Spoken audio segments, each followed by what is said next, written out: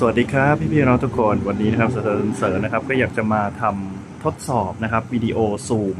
นะครับว่าเจ้าตัว Huawei P40 Pro Plus เนี่ยสามารถซูมไปได้ไกลเนี่ยมากแค่ไหนนะครับ แล้วก็สามารถใช้งานจริงเนี่ยได้ไหมนะครับ ตัวนี้เนี่ยถ่ายด้วยความละเอียดนะครับ 4K นะครับ60เฟรม per second นะครับ ก็เดี๋ยวลองดูว่า จะทำได้ดีมากแค่ไหนนะครับ เดี๋ยวเริ่มต้นเนี่ยตัวตอนนี้เนี่ยนะครับถ่ายด้วยเลนส์ที่กว้างสุดนะครับ ก็คือเลนส์ ultra wide ของเขาแต่ว่าต้องบอกก่อนว่าเลนส์ ultra ของเลนส์เลนส์ ultra wide ของเขาเนี่ยไม่ได้กว้างขนาดนั้นนะครับ แต่ว่าถือว่าความละเอียดเนี่ยทำได้ดีมากๆแล้วก็ตัวนี้เนี่ยเป็นเลนส์แบบauto focus ด้วยนะครับ เป็น ultra wide แบบ auto focus ซึ่งเป็นสิ่งที่ผมเนี่ยมองหา ในตัวมือถือสมาร์ทโฟนในตอนนี้นะครับ อันนี้เนี่ยถ่ายในช่วงของกลางแจ้งนะครับ แล้วก็ถ่ายบน tripod ด้วยนะครับ เดี๋ยวผมจะโชว์ระยะให้ดูก่อนนะครับ ว่าตอนนี้เนี่ยระยะมีระยะไหนให้เราเลือกบ้างนะครับเลนส์ของตัวนี้เนี่ยมีทั้งหมดให้เราเลือกเนี่ยสี่เลนส์ด้วยกันนะครับ อันนี้คือเลนส์ที่กว้างสุดนะครับ เดี๋ยวจะเปลี่ยนไปที่เลนส์ขนาด 1.0x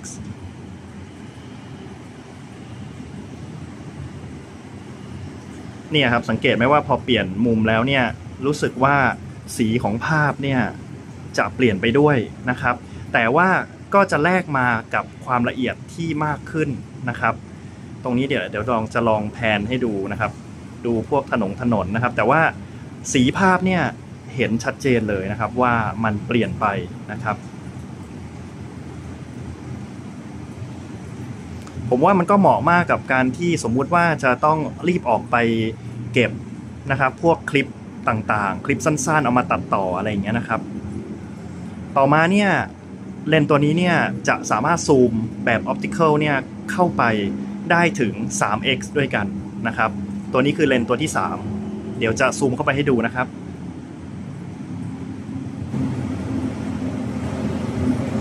เริ่มเริ่มซูมนี่ ตอนนี้นะครับจะอยู่ที่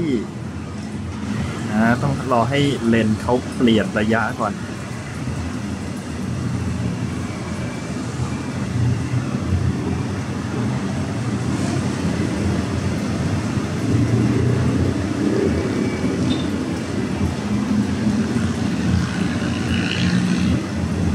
อ๋อต้องบอกก่อนนะครับ ตรงนี้เนี่ยเป็นข้อเสียเลยของ Huawei P40 Pro Plus นะครับ เพราะว่าถ้าเกิดว่าเราถ่ายด้วยวิดีโอแบบ 4K 60 เฟรม per second เนี่ย เราจะสามารถใช้เลนส์ซูมเนี่ย ได้แค่เลนส์ Y กับเลนส์ 1x เท่านั้นหรือว่าเลนส์หลักของเขานะครับ ดังนั้นเนี่ย เราจะไม่สามารถเห็นรายละเอียดอะไรได้มากมายนะครับ อย่างเงี้ยอย่างที่อย่างที่ทุกคนเห็นอยู่เนี่ยนะครับดังนั้นเนี่ย เดี๋ยวผมจะลองคลิปต่อไปเนี่ยเดี๋ยวผมจะลองใช้ตัวถ่ายแบบ 4K 30เฟรม per second ดูนะครับ เดี๋ยวผมจะลองซูมกลับมาก่อน เพราะว่าตอนนี้เนี่ยเราซูมได้สูงสุดได้แค่ 10x เท่านั้นเอง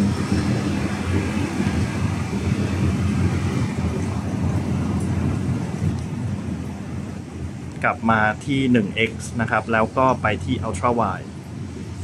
นะครับ โอเคนะครับ ก็ทุกคนถ้ามี ข้อสงสัยอะไรก็ลองคอมเมนต์กันมาสอบถามกันได้นะครับ วันนี้ก็เป็นข้อมูลทั้งหมด ถ้าเกิดว่าชอบก็อย่าลืมกดไลค์กดแชร์ subscribe นะครับ แล้วก็เอาไว้เจอกันในคลิปหน้า วันนี้เสริมเสริญนะครับ ก็ขอลาทุกคนไปก่อนนะครับ อย่าลืมใส่หน้ากากด้วยนะครับ แล้วก็ขอให้ทุกคนปลอดภัยสวัสดีครับ peace